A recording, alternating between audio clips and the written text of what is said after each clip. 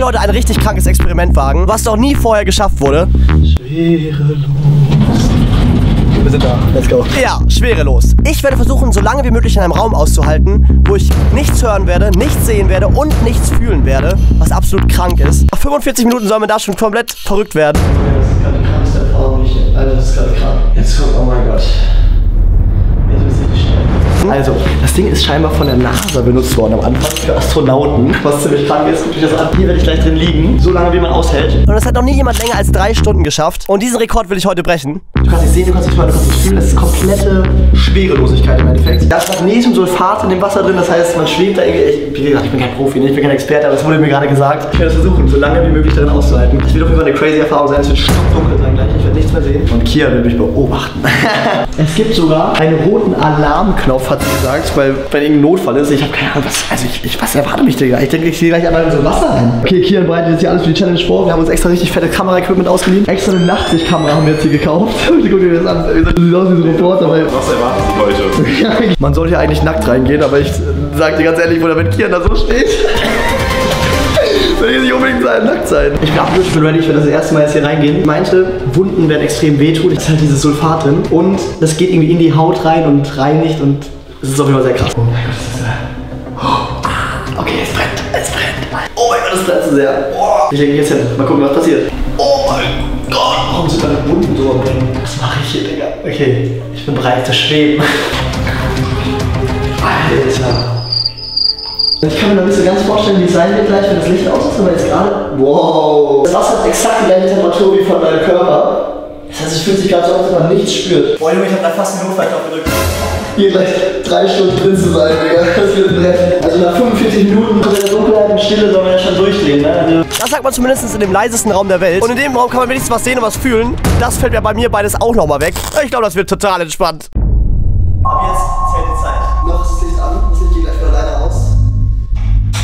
Jetzt bin ich alleine. Ich bin alleine drin, Digga. Das wird so komisch sein. Okay, Freunde, noch ist das Licht an. Ich bin jetzt hier gerade wenige Sekunden drin und ich kann jetzt schon, weil es so schlimm ist, mein Herrscher kann ich höre die ganze Zeit. Boah, ist das gruselig. Die ganze Zeit. Perfekt, eine Minute drin und ich bin schon am Durchdrehen. Ja, mega. Zu dem Zeitpunkt dachte ich wirklich, ich will das nicht mal eine Stunde schaffen. Ich weiß nicht, ich, ich halte das keine 10 Minuten aus, Alter. Das ist ja richtig gruselig. Ich hab so Angst, dass das Licht gleich ausgeht und dann ist es hier dunkel. Junge, ich will ausgehen, Digga. Bevor es weitergeht und ihr seht, wie ich komplett psychisch gestört werde, vielen, vielen Dank für diesen geisteskranken Support bei Heygum. Wir sind nach fünf Tagen schon fast überall ganz deutschlandweit ausverkauft. Überall sind leere Aufsteller. Irgend so ein Freak von euch hat einfach einen kompletten Aufsteller mit 150 Heygum mitgenommen. Absolut krank. Sorry an jeden, der keine bekommen hat. Ich habe ja immer gesagt, immer schnell sein, aber Heygum ist mittlerweile zu einer richtig kranken Kaugummifirma gewachsen. Und das wäre alles ohne eure Hilfe niemals möglich gewesen. Also wirklich vielen, vielen Dank.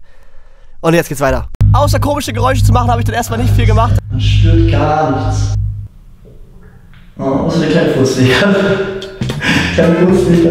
ich hab auch. Nach meinem Herzschlag habe ich dann auch angefangen, meine Lunge zu spüren, meinen Darm zu hören. Das war wirklich einfach nur wunderbar. Das ist alles so hundertmal lauter als vorher. Ich hab schon das Gefühl, ich stehe durch. Und ich lag und lag da und hatte einfach nur Angst, dass das Licht ausgeht. Es sollte automatisch ausgehen, aber es passierte nicht. Ich frag mich, wann das Licht ausgeht. Nur was sagen. Ich glaube, wenn das Licht ausgeht, dann bist du aber extra krank. Man hört halt auch nichts, weil deine Ohren sind unter Wasser. Ich habe außerdem keine Ahnung, wie lange ich hier bin. Das heißt, die Zeit weiß ich auch nicht. Ich würde schätzen, es sind jetzt gerade so zwei Minuten oder so, oder drei Minuten. Keine Ahnung. Wie sieht das hier die echte Zeit an, wie lange ich wirklich hier drin bin, aber ich glaube zwei Minuten sind's. Junge, wie kann man jetzt schon so krank falsch liegen? Das ist ja wirklich geisteskrank. Aber es wird noch viel, viel schlimmer. Oh mein Gott. Oh mein Gott. Oh mein Gott. Ach du Scheiße, jetzt ist das Licht aus. Ich sehe gar nichts mehr. Jetzt geht das Experiment erst richtig los. Alter. Jetzt ist es wirklich wie Schweben. Eieiei. Ich habe gerade echt das Gefühl, ich bin irgendwo im Weltall am Rumtreiben.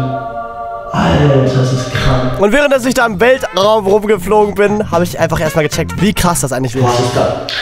Oh, Junge. Ich kann nicht mehr, Alter. Ich würde sagen, ich bin jetzt ungefähr seit 20 Minuten hier drin. 20 Minuten?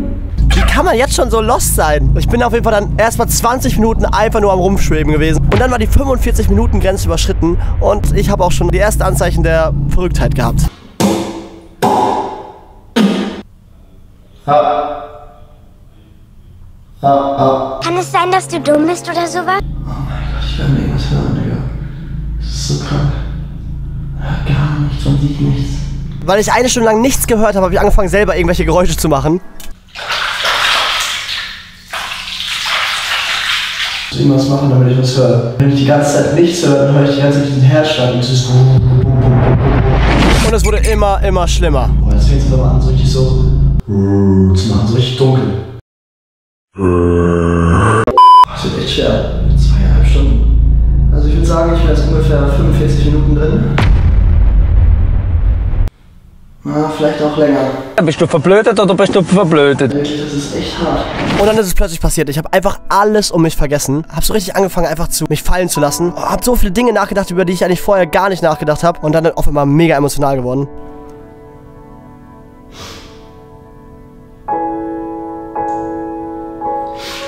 Boah, das ist echt krass. Ich denke jetzt über so viele Sachen nach. Ich habe einfach gerade ein bisschen angefangen zu weinen. Crazy, man hat so richtig so Zeit für sich mal. Das ist echt hätte ich nicht gedacht, so eine krasse Erfahrung hier. Ja, das war irgendwie peinlich. Nachdem ich dann den kleinen Zusammenbruch hatte, ging es aber direkt in die nächste Eskalation. Ich habe voll in meine Augen gefasst und das sollte ich noch bereuen. Oh, scheiße, meine Augen jetzt richtig. Ich habe gerade kurz in meine Augen gefasst. So ein großer Fehler. Boah, boah, es brennt so extrem jetzt. Also jetzt langsam habe ich das Gefühl, dass mein Körper so eins wird mit diesem All. Das sehe ich genauso wie mir beschrieben. Man spürt einfach wirklich nicht, einfach nichts.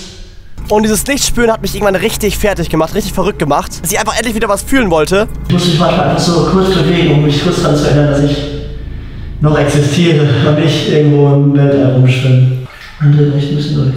Bam, bam, bam, bam, bam, bam, bam, bam, bam. Alter.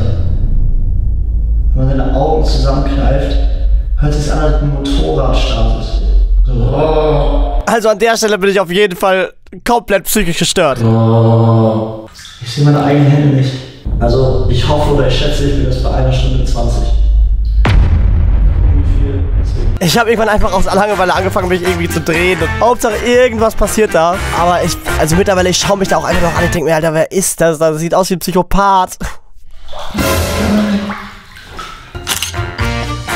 Und dann verging noch mal so viel mehr Zeit und ich habe angefangen, alles zu vergessen. Wo oben und unten war, ich wusste nichts mehr. Keine Ahnung mehr, wo rechts und links ist. Irgendwo ist oben, irgendwo ist unten.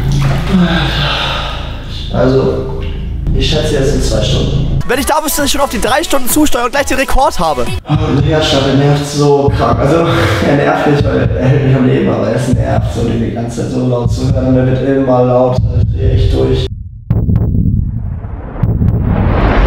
Fast drei Stunden und es wurde alles immer anstrengender, aber es war immer noch nichts gegen das, was mich gleich erwartet. Ich konnte auf jeden Fall jetzt verstehen, warum man jetzt keinen Bock mehr hatte, hier drin zu sein. Boah, ich werde irgendwas hören. Doch dann passierte was, mit dem ich so nicht gerechnet hätte. Alter. Alter. Boah, Junge, jetzt geht's richtig ab. Jetzt geht's richtig ab. Ich sehe grüne habe euch mal hier dargestellt, wie das ungefähr aussah. Das habe ich schon einmal gehabt in meiner Kindheit, wo, ich, wo ich meine Augen richtig zusammengekniffen habe. Und jetzt kam es einfach wieder und es ist so krank gewesen für mich. Ich sehe irgendwelche Sachen da rumfliegen, so grüne Muster, Schuhe rechts und links die ganze Zeit. Sind das manchmal sind so Dreiecke, manchmal ist es auch ein Gesicht und so. Ich sehe ganz viele komische Sachen gerade. Jetzt wird es gerade so einer Wolke, jetzt geht es wieder hoch. Junge, das ist gerade die krankste Erfahrung, die ich. Alter, das ist gerade krank. Jetzt kommt, oh mein Gott. Jetzt wird es richtig schnell. Augen zu, Augen auf, macht keinen Unterschied, du siehst genau das gleiche, es ändert sich nichts. Boah, ich sehe so Wellen jetzt vor mir. So als bis zum Meer wäre oder sowas. Ich glaube, jetzt ist, jetzt ist der Weltrekord gerade. Ich hoffe, der Weltrekord ist jetzt gebrochen. Yay! Das erste Mal, wo ich die Zeit relativ richtig eingeschätzt habe. Ich kann nicht mehr lange hier sein, auf jeden Fall. Wenn ich da gewusst hätte, wie lange es noch sein wird. Oh. Ich habe richtig Angst davor, dass wenn das Licht angeht, diese ganzen grünen Sachen nicht weggehen. Ich habe richtig Paranoia gerade, das ist echt ganz komisch. Jetzt sehe ich einen Oktopus irgendwie, oder was ist das, Alter? So grüne Sachen, die sich bewegen die ganze Zeit. Das ist echt, boah. Jetzt sehe ich einen halben Mond. Ja, es kommt immer irgendwas Neues. Kann man so viel komische Fantasie machen. Bei mir entwickelt sich dann aber immer mehr so eine Angst, dass es nicht mehr weggeht, wenn das Licht wieder angeht. Und das hat es schon sehr, sehr, sehr viel schlimmer gemacht. Kann natürlich auch sein, dass es daran liegt, dass ich diese Scheiße in den Augen bekommen habe. Ich habe halt echt Schiss, dass wenn das jetzt nicht mehr weggeht. Was mache ich ja? Ich spiele jetzt hier ein bisschen Ping-Pong. Hier selber. Ich habe mich dann ein bisschen abgelenkt und habe mit mir selber Ping-Pong gespielt. Okay, das habe ich dann wirklich fast für 10 Minuten gemacht. Das kannst du dir nicht vorstellen. So langweilig war mir. Ich dachte mir, wo bleibt der Typ denn, Alter? Ich war ja schon so lange drin. Eigentlich ist der Rekord schon lange gebrochen. Alter, warum komme ich hier nicht rein? Er kommt und kommt einfach nicht rein. Ich glaube, ich bin die erste Person, die wirklich fast vier Stunden da drin war. Und Alter, ich kann mich nicht mal mehr daran erinnern, dass ich das gemacht habe, was ich da gerade mache. What the fuck, das ist echt gruselig. Doch dann habe ich mich auf einmal ultra gefreut über die größte Kleinigkeit. Alter, da ist was. Junge, ich hab gerade das erst entdeckt. Da ist ein rotes Leuchten an der Kamera, wie geil. Einfach weil der Akku von der Kamera alles hat die angefangen zu blinken. Und das war mein absolutes Highlight. Alter, ist doch wieder so glücklich, dass er sowas leuchtet. Das ist so krank. Ich hab was zum Anschauen. Eins, zwei, Und ich habe dann angefangen, die Blinker zu zählen. 14, 115, 116, 117, 118, 119, 633, 634, 635, 637, 638, 639, 600. Oh, ich hab mich verzählt. Es müssen doch jetzt drei Stunden locker vergangen sein. Also, ich liege hier seit einer halben Ewigkeit drin. Es fühlt sich jetzt auch an wie 50 Stunden. Ich war so gebrochen irgendwann. Und dann dachte ich mir wirklich irgendwann, es geht nicht mehr. Ich war jetzt keine 10 Minuten mehr. Auch wenn der Rekord nicht gebrochen ist, ich muss raus. Ich musste mehr raus, als dieses Kind jemals aus dem Bus raus musste. Ich muss raus. Ich dachte, die Menschheit wäre irgendwie untergegangen. Alle haben mich vergessen. Warum holt mich hier keiner mehr raus? Ich kann nicht mehr. Oh, wie kommt der nicht rein?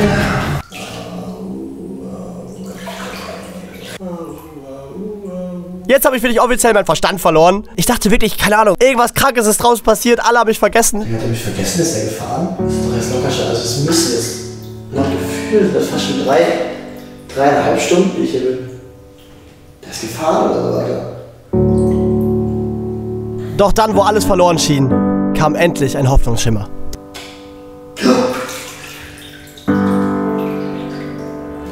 Was riecht das wieder an? Alter, oh mein Gott, ist das krass. Oh, ich kann wieder was sehen. Boah, mir ist schwindelig. Oh, Junge, was geht jetzt ab? Ganz langsam, ganz langsam. Boah, alles dreht sich. Alter.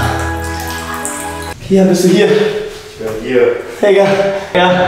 Du bist doch so lange jetzt da drin. Ne? Digga, du solltest mich doch rausholen, welche Ich glaube, du warst wie, Wie lange drei, war's? drei Stunden oder sowas. Ich saß drei Stunden gerade in diesem Raum. Digga, warum holst du mich denn nicht früher raus? Ich hab doch gesagt, wenn der Rekord nicht schafft, ist nicht fertig.